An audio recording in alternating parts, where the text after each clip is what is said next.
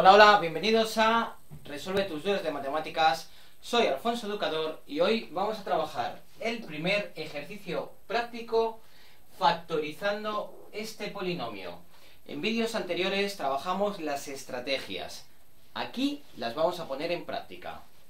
El polinomio nos damos cuenta que es de grado 3. Entonces, en principio, acordaros, en principio, este polinomio puede ser el producto de tres factores. El grado máximo 3, producto de tres factores.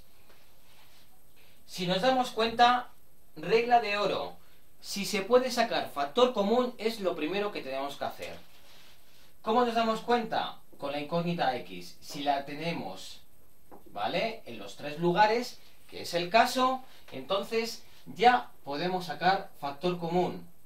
x multiplica a x al cuadrado, bien, menos 5x, ¿vale? Más 6. Y ya tenemos un factor.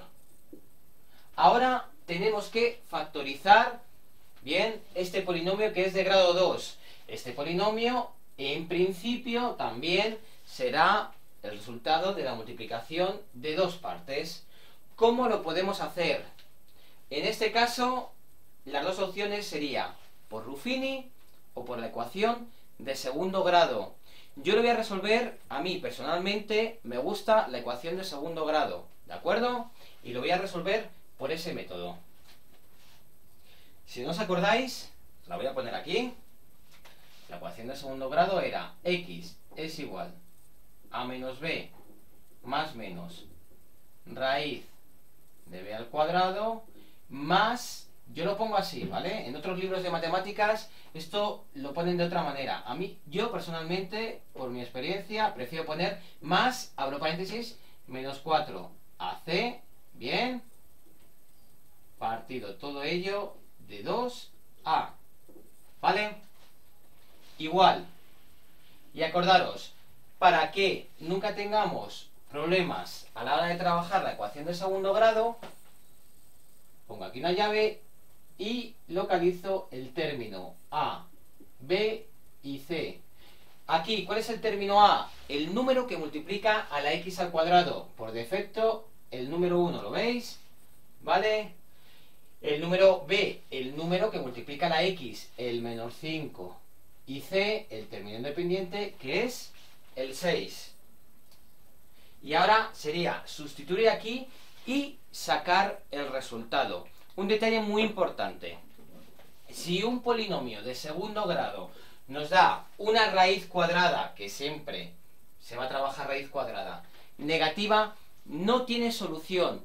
Por consiguiente, no tiene solución, no tiene un valor real y ese polinomio no se puede factorizar más. ¿De acuerdo? Recordad este detalle. Raíces negativas, cuando intentamos factorizar un polinomio de segundo grado, no dan valores reales y es indicativo de que ese polinomio no se puede partir en más trozos. ¿Qué quiere decir?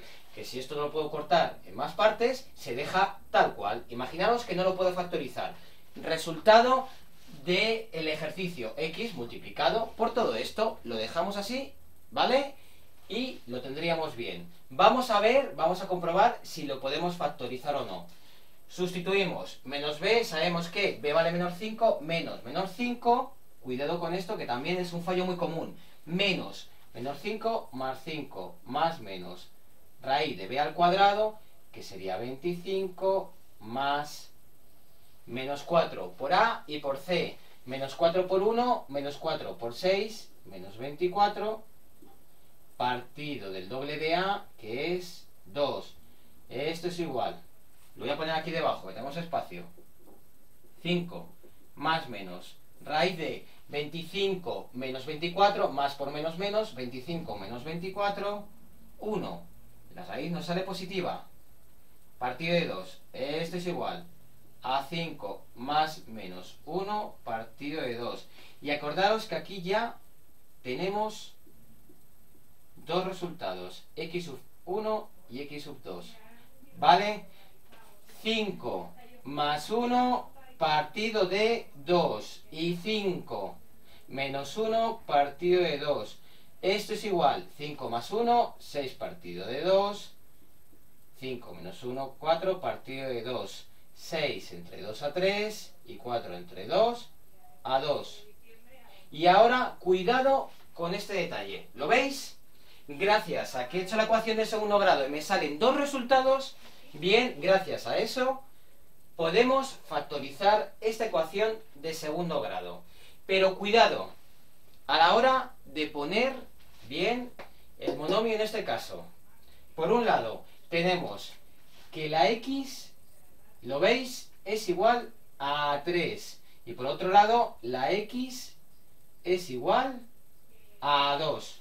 Bien, esto y esto lo tenemos que transformar en monomios para que se pueda multiplicar por esta x. ¿Cómo lo transformamos? De la siguiente manera. Si x es igual a 3, este 3 lo paso a la izquierda y se me convierte en x menos 3. ¿Lo veis? 3 positivo a la izquierda, x menos 3. Este 2 que está a la derecha positivo pasa a la izquierda y se me convierte en x menos 2. ¿Lo veis? Pongo paréntesis y estos serían los factores que tienen que multiplicar a este otro para dar el resultado del ejercicio. ¿Lo veis? Voy a poner aquí la solución. Voy a borrar esta parte y pongo aquí la solución.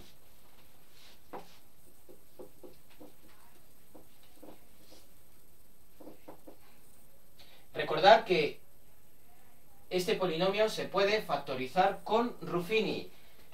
A mí no me gusta, opinión muy personal. Para mí es más rápido hacer esto, para mí. Pero cada uno, bien. Entonces, tenemos inicialmente que p de x es igual, lo voy a poner otra vez en rojo, x al cubo menos 5x cuadrado más 6x, ¿vale? Resultado final. De otro color. Ya teníamos x, acordaros, bien, multiplicado por todo este polinomio de grado 2 se ha convertido en la multiplicación de estos dos factores, pues multiplicado por x menos 3 y multiplicado por x menos 2.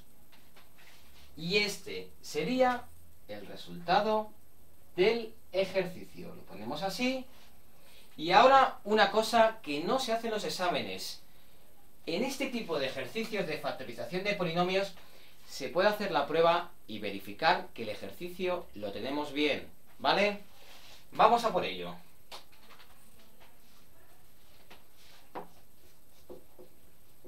Os aconsejo hacer la prueba siempre que podáis en un ejercicio de matemáticas, ¿vale?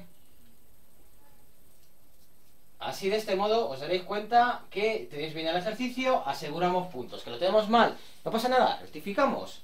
Todos nos equivocamos. Acordaros, este ha sido bien el resultado.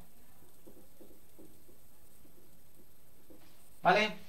Pues si digo que este polinomio es igual a esto, si multiplico los factores, por lógica, debería darme este resultado, ¿no? Pues vamos a ver. Aplico la propiedad distributiva. Esta x puede multiplicar primero a esto o también a esto. Me da igual. Voy a hacer esto por esto y lo que me dé, ¿lo veis? Lo multiplico por x menos 2. x por x, x al cuadrado. x por menos 3, menos 3x. ¿Lo veis? x al cuadrado menos 3x. Y esto lo tengo que multiplicar por x menos 2. Vamos a por ello. x al cuadrado por x, x al cubo. Bien, x al cuadrado por menos 2, menos 2, x al cuadrado. Menos 3x por x, menos 3, x al cuadrado, ¿vale? Y menos 3x por menos 2, más 6, x. ¿Lo veis? Ahora, x al cubo, que lo tengo aquí, bien, menos 2x al cuadrado y menos 3x al cuadrado, lo junto y me sale menos 5x al cuadrado. Y el 6x por defecto. Si os dais cuenta, la multiplicación verifica que el polinomio que me sale, x al cubo menos 5x cuadrado más 6x, coincide con este. Entonces, el profesor, profesora, os pone un tic de bien y ya tenemos puntos asegurados. Consejo, cuando hagáis un polinomio y lo factoricéis, luego multiplicarlo de nuevo para verificar que habéis hecho bien el ejercicio. Y esto es todo. Muchísimas gracias por estar ahí. Si te gustó el vídeo, por favor, clic en me gusta y suscríbete que seguiremos subiendo vídeos de álgebra tan interesantes como este. A por ello, un saludo, hasta luego.